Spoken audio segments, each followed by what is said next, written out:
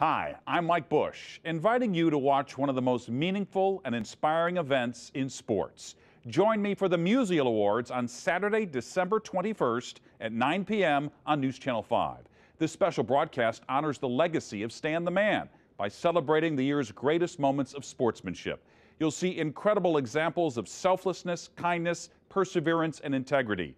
We've traveled the country to showcase all that's right in sports, bringing you uplifting stories like the young brain cancer patient given the chance to score a touchdown in the Nebraska spring game, a college basketball coach who overcame unspeakable tragedy to win a national championship, and right here in our backyard, a high school softball coach whose honesty set an example for all to follow. These are just some of the heartwarming gestures of sportsmanship you'll see on the Musial Awards, a perfect show to watch during the holiday season.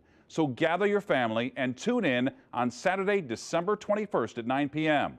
You can also watch an encore presentation on Christmas Day at 10 a.m. I hope you'll join the St. Louis Sports Commission, Maryville University, and me for this one of a kind event, the Musial Awards on News Channel 5.